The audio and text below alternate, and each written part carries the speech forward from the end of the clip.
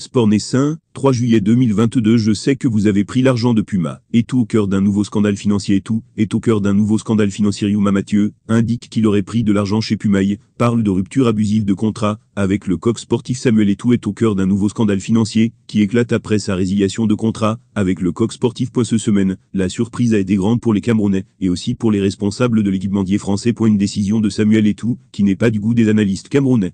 C'est le cas de Yuma Mathieu, qui parle d'une rupture abusive. Nous sommes en juillet 2022, une rupture abusive de contrat à mi-parcours, et à la veille d'une Coupe du Monde, entraînerait inéluctablement un procès contre la Feu-Cafou, indique-t-il.